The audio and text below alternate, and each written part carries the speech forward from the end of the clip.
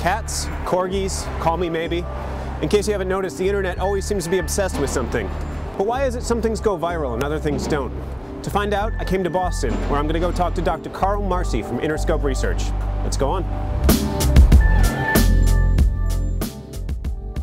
So we apply principles of neuroscience using biometrics and eye tracking to measure the unstated responses that shoppers and audiences and, and viewers and consumers have to all kinds of media and marketing stimuli.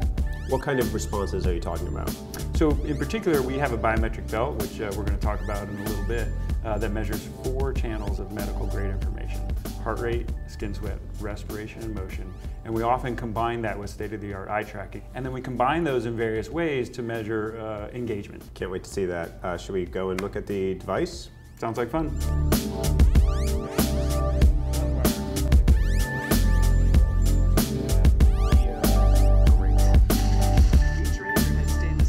Innerscope believes that non-conscious emotions direct attention, enhance learning and memory, and ultimately drive behaviors.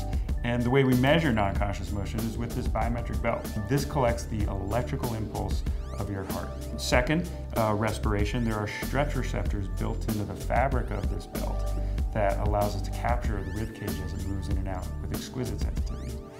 Um, next is motion. There's actually motion sensors in this medallion. It's what's called a three-axis accelerometer, which means it can tell forward, up and down, and side to side. And then finally uh, is uh, skin conductance. And the best place to measure skin conductance is the palms of the hands. And so there's one wire that goes through the shirt and goes onto the non-dominant hand and collects the electrodermal activity, sort of the arousal and, and the uh, activity that the central nervous system is creating that we capture in the palm of people's hands. Let's just snap right on like that. You're good to go. Cool. All right. We're good to go. So Jeff, these are your four channels. Uh, the top one, HR, stands for heart rate. Um, you can see that you're a, a, fit guy. Do you exercise a lot? I, I've been known to. Yes, so uh, this, this is suggesting your resting heart rate's pretty, pretty low. The second one, GSR, stands for galvanic skin response, uh, sometimes referred to as electrodermal activity. Um, that, that's, that's this? Exactly, those are those two wires there. Okay, Jeff, uh, feeling comfortable? I am. Good, okay. Okay, whenever you're ready, we'll get started.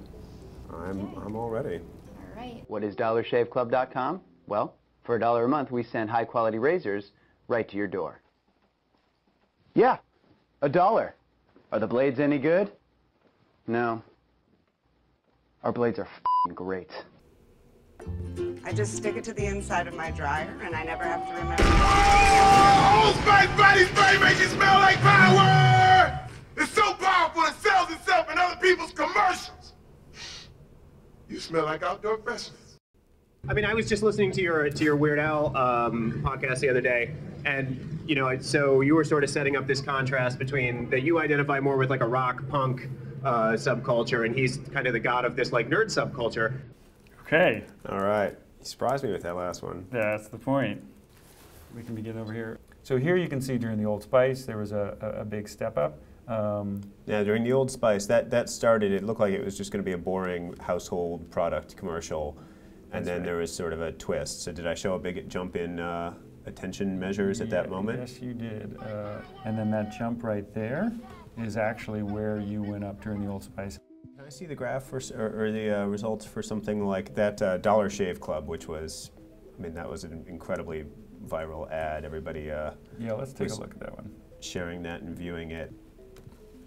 Here's the end of the, the wrap. And then here's the Dollar Shave. Oh wow! So those are big spikes right there. Absolutely, absolutely, and it's a it's a great ad. I, I also had a similar response, and I had never seen that before. And you know what's interesting is that the ad it goes through these um, these very sort of noticeable progressions of you know there's a, a, sequence of scenes and you can see a spike each time it goes into a new scene. Absolutely, and that gives you an indicator of how, how sensitive uh, this, this device really is because it's really capturing that, that ebb and flow. Then when you combine heart rate, which really also gives you a sense of, of the magnitude and a little bit of the valence too, it tells you whether that's an, an approach or an avoid response. Most of what you saw, what we saw in you were accelerations. So you've had these, these big accelerations as information became more relevant, followed by a deceleration as you begin to concentrate.